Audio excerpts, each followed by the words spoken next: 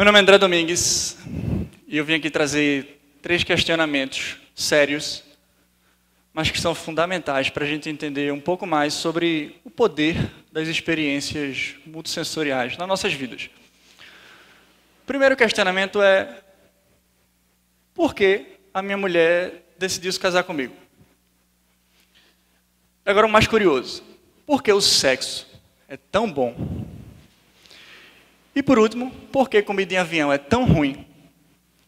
Mas antes de responder esses porquês, eu quero mostrar para vocês o quão vulnerável nós somos diante das experiências nas nossas vidas, independente da gente ser homem, mulher, feio, bonito, gordo, magro, rico ou pobre, e tudo por causa dos nossos cinco sentidos.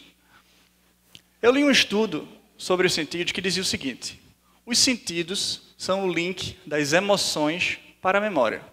Isso significa dizer que quanto mais sentidos são ativados em uma experiência para o ser humano, mais intensa e inesquecível essa experiência será. É simples. Mas isso tem um preço. O preço disso são decisões inconscientes que tomamos no nosso dia a dia. O nosso corpo e mente é influenciado sem a gente sequer saber que isso está acontecendo. Só para vocês terem uma ideia, de 85 a 95% das decisões que tomamos são tomadas fora do nível consciente do cérebro. É quase como um iceberg. 90% está ali debaixo d'água e do navio a gente não consegue enxergar. Isso nos torna altamente vulneráveis enquanto seres humanos. E falando em vulnerabilidade, veja essa imagem. Times Square, Nova York, Veja a quantidade de informações visuais às quais as marcas nos submetem. Independente da gente estar em Nova York, quando a gente sai das nossas casas, é praticamente assim. Dentro das nossas casas, também é assim. E até aqui, sentado na privada, na palma das nossas mãos, as empresas nos bombardeiam de todos os lados a todo momento. Praticamente 85% desse bombardeio são investimentos em marketing que as empresas fazem para nos persuadir de que produto, serviço deles é melhor, são focados na visão. Tá, mas e os outros sentidos? E aí eu te pergunto, quando a gente deita a cabeça no travesseiro, quanto de toda aquela informação, principalmente visual, que a gente recebeu durante o dia inteiro, a gente de fato retém? Quanto daquilo a gente se lembra ao dormir? Praticamente nada. E aí surge um grande desafio. Como impactar pessoas usando os sentidos? Isso vale não só para nós como empresas, mas para nós como pessoas. E aí eu falei tudo isso para começar a responder os três porquês lá do início. Por que a minha mulher decidiu se casar comigo? Eu vou contar uma história interessante sobre a gente. Era o fim de semana do meu aniversário. A gente tinha recém-completado sete anos de namoro. Não éramos casados ainda. E eu iria levar ela para um lugar incrível. Um resort à beira-mar de Porto de Galinhas. Uma das praias mais bonitas do Brasil, lá no litoral de Pernambuco. O dia ensolarado, um marzão lindo, o nosso quarto ficava de frente para o mar. E aí a gente foi para o quarto para se organizar, para aproveitar o dia. Né? E aí eu segurei ela e dei um beijo bem gostoso nela. Mas calma, foi só um beijo. Por enquanto foi só um beijo. Só para dar o pontapé inicial no fim de semana. E aí, como de praxe, em muitas viagens que a gente faz, eu levei meu violão. E aí eu, eu tinha terminado de me organizar, estava esperando por ela, para variar. E aí eu fiquei sentado ali, olhando a paisagem, olhando aquele mar bonito tocando violão, nem lembro qual era a música que eu estava tocando. E aí, até que ela terminou de se organizar, e eu pedi para ela pegar aquelas palhetinhas, sabe aquelas palhetinhas de tocar violão, que tinha numa caixinha de palhetas dentro do bag do violão. Aí, quando ela chegou lá, ela viu que a caixinha de palhetas, na verdade, não era uma caixinha de palhetas, era a caixinha das alianças. E aí ela ficou assim surpresa, sem saber como reagir, achando tudo muito estranho. Eu posso garantir que ela não estava esperando por nada daquilo. E aí, nesse momento, eu comecei a tocar a introdução de uma música diferente, uma música que ela não conhecia. E aí, e aí, ela percebeu que ao lado da caixinha das alianças tinha uma carta. E ela segurou a carta e sentiu um cheiro gostoso. Era o cheiro do meu perfume no papel. E no papel não tinha nenhuma declaração de amor, coisa parecida. Tinha a letra de uma música. Só que era a letra de uma música composta por mim para pedir ela em casamento ali naquele momento. E aí eu comecei a cantar, e ela começou a chorar, e eu que sou chorão também, eu mal conseguia cantar de tanto chorar. Era, a gente conseguia também ouvir o som das ondas do mar. Era tudo muito reconfortante. Era o meu aniversário. Mas quem ganhou o presente foi ela. Bom, eu não sei se eu não sei se vocês perceberam, mas o que eu dei para ela não foi um presente, algo material. Foi uma experiência multissensorial completa e, consequentemente, inesquecível. Eu tive que apelar para os cinco sentidos. Eu que não ia levar um não, e ainda mais no meu aniversário. Se lembra aquelas decisões inconscientes que tomamos ao longo do nosso dia, ao longo da nossa vida? Minha mulher que eu diga. Agora já era, agora já era, já era, já era. Mas vamos analisar essa experiência que eu proporcionei para ela sobre um ponto de vista sensorial. Visão. O lugar era incontestavelmente lindo. Eu não posso falar o mesmo do compositor, mas tudo bem, dá para o gasto. Dá para o gasto.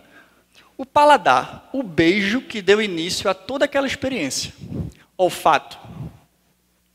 O cheiro do perfume na carta e a gente conseguia também sentir o cheiro da brisa do mar. A audição, a música autoral, cantada voz violão acústico, e também o som das ondas do mar. E por último, o tato. A textura do papel nas mãos. E claro, o anel no dedo, porque graças a Deus ela aceitou. Agora imagine se a gente analisar todas as experiências da nossa vida sob o ponto de vista sensorial. Eu vou representar através de um gráfico. Imagine um pentágono Cada uma das pontas é um dos cinco sentidos, e a intensidade de cada sentido é medida de 0 a 10, de dentro para fora, para cada uma das pontas. E aí, no final, vai formar uma, uma área. Quanto maior a área, mais intensa e multissensorial é aquela experiência. Praticamente todo mundo curte tomar um cafezinho. Como é a experiência de tomar um café sob o ponto de vista sensorial? Visualmente, é lindo. O líquido a xícara, depender da xícara, até o vapor do café quentinho, quando a gente vê, traz uma sensação gostosa. Auditivamente, eu percebi que algumas pessoas fazem aquele barulhinho de sugar o café quente. E isso, para muita gente, inconscientemente faz parte da experiência. O tato é pelo ato de segurarmos a xícara de café, o vapor do café entrando pelas narinas e o café quentinho tocando nos lábios. O olfato e o paladar nem se fala, é uma experiência praticamente intensa. Então o gráfico fica assim: visão, audição um pouco menos, tato, paladar e olfato completando a multissensorialidade da experiência. Mas e aí como é a experiência de tomar, de, de ir ao cinema? O visual e sonoro são incríveis. Coisa que dificilmente assistindo um filme do sofá da nossa casa a gente vai ter uma experiência daquela. O tato é pelo conforto dos assentos e a temperatura do ambiente, seja um ar-condicionado ou aquecedor. E o olfato e o paladar é pelo cheirinho da pipoca que a gente sempre sente no início do filme e o sabor da pipoca, que por si só já é uma experiência multissensorial. Então, o gráfico fica assim: visão, audição intensos e os outros três sentidos completando a multissensorialidade da experiência. É interessante, né? Mas é possível masterizar as experiências? Imagina tomar aquele cafezinho que a gente falou, segurando uma xícara mais elegante, acredite, mais pesada, e ouvindo a música certa para o momento. E se você for para um cinema premium, onde tem aquelas poltronas gigantes e reclináveis e super confortáveis. Vocês, por exemplo, vocês estão vivenciando a experiência de um TEDx ao vivo. Vocês receberam aí, cada um de vocês receberam um saquinho, um saquinho verde, que vocês não podem abrir, é um saquinho fechado, dizendo para vocês abrirem apenas quando solicitado. Muitos de vocês, quando viram que não podem abrir, ficaram tentando sentir com as mãos o tato. O que será que tem ali dentro? Alguns curiosos demais, talvez não resistiram e já abriram logo e já viram o que tem ali dentro, mas para os que resistiram, eu peço que vocês abram agora, por favor. Olha que som lindo, né? E eu vou pedir para os que podem, é claro, degustem o que tem aí dentro. A gente vai masterizar a experiência do TEDx em três sentidos de uma vez só. O tato, porque vocês sentiram com as mãos o que será que tem ali dentro, abriram um saquinho, depois vem o paladar, porque vocês vão degustar aquilo. E à medida que vocês forem mastigando, a gente vai sentir uma explosão de cheiro no ambiente. Mas enquanto isso, eu vou continuar aqui, tá? Será que existe uma experiência perfeita? Uma pontuação máxima para todos os sentidos? Uma área 100% do pentágono? Existe uma experiência, eu fiquei analisando e, e vi que existe uma experiência quase que intensamente multissensorial. E essa experiência é o sexo bem feito. Isso nos leva ao nosso segundo porquê. Sem dúvida nenhuma, é uma experiência que masteriza todos os sentidos ao máximo. Eu não vou entrar no detalhe de como cada sentido é ativado durante o sexo. Se bem que eu até gostaria, né? mas a gente está num TEDx. Eu vou deixar esse trabalho para a imaginação de cada um de vocês, por favor. Há quem diga que o sexo é bom até quando é mais ou menos. Desde que não seja uma experiência, obviamente, traumática. Né? Os sentidos são tão poderosos para a nossa vida que eles trazem uma influência gigantesca para o nosso corpo, influenciando duas coisas fundamentais e de maneira totalmente inconsciente: o nosso comportamento nos ambientes e a nossa percepção sobre as coisas. A percepção criada pela nossa mente vale muito mais do que a realidade. E alguns dos sentidos têm a capacidade de influenciar outros sentidos, e a combinação desses estímulos sensoriais é que vai influenciar a nossa percepção sobre as coisas. E isso nos leva ao nosso último porquê. Por que comida em avião é tão ruim? É meio sem graça. Não é que seja ruim, é meio sem graça. A gente não dá uma agafada no avião e acha aquela comida saborosa. Isso é por conta de três simples razões. E acredite, nenhuma delas é culpa das companhias aéreas. A primeira razão é a umidade relativa do ar dentro do avião. Ela é menor que 20%, isso já é mais seco que muitos desertos no mundo. Para vocês terem uma ideia, entre 40% e 70% é a umidade ideal para o nosso corpo, para o nosso tato. A segunda razão é a pressão do ar. Dentro do avião, a cabine é pressurizada. Então, lá dentro, a pressão do ar é muito mais baixa do que em terra firme. É como se a gente tivesse no topo de uma montanha, quase 3 mil metros de altitude. E a terceira razão, e uma das mais importantes, é o ruído emitido pelas turbinas do avião, que é um ruído constante, linear e de baixíssima frequência. Isso faz com que muitas vezes aquele ruído se disfarce no ambiente e a gente mal percebe que está ouvindo mas ela vai distorcer a nossa capacidade de sentir o sabor doce e salgado em alimentos e bebidas, através de um nervo que liga o canal auditivo à língua. Então a culpa não é das companhias aéreas. A culpa é sua. A culpa é nossa. São os nossos sentidos que distorcem a nossa capacidade de sentir o sabor pleno em comidas e bebidas. O nosso tato e a audição afetando negativamente o nosso paladar e a percepção sobre as coisas. E aí, pegando esse gancho do ruído de baixa frequência que distorce o nosso paladar, e se por acaso tivermos, estivermos tomando aquele cafezinho que eu falei antes, ouvindo uma música com emissão predominante de frequências mais altas. As frequências nas músicas são determinados pelos instrumentos musicais e o timbre das vozes seja masculino, feminino, mais grave ou mais agudo. Então, a depender da música que você esteja escutando, até o cafezinho pode soar mais saboroso para você.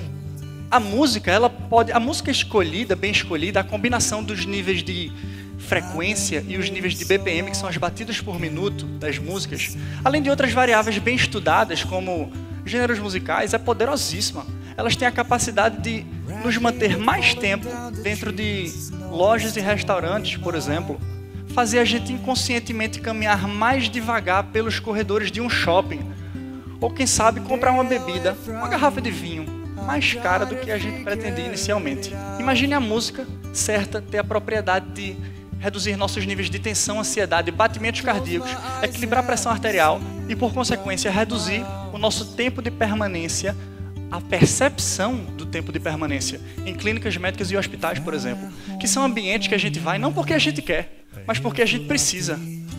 Agora imagine masterizar todas as experiências do ser humano, harmonizando os estímulos sensoriais, indo no detalhe como cada sentido pode ser masterizado para trazer uma experiência muito mais intensa e inesquecível para o ser humano.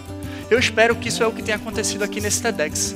A gente conseguiu explorar um pouco mais do nosso tato, do olfato e do paladar, como a gente viu antes. E agora a gente está trabalhando um pouco mais da nossa audição, através de uma camada com música ambiente nesse TEDx. Mais especificamente, uma música composta e gravada por mim na Escócia, quando eu morei lá. Então, quando você for pedir sua mulher em casamento, quem sabe presentear alguém especial ou receber os seus amigos na sua casa para tomar uma cervejinha, ou seus clientes no estabelecimento, independente do segmento, pense em como multissensorializar essas experiências para a gente conseguir impactar mais, muito mais pessoas. Meu nome é André Domingues, eu sou apaixonado por música e pelas experiências que tornam a nossa vida cada vez mais intensa e multissensorial e fundador da primeira empresa do Brasil a usar ciência aplicada à música ambiente. Muito obrigado.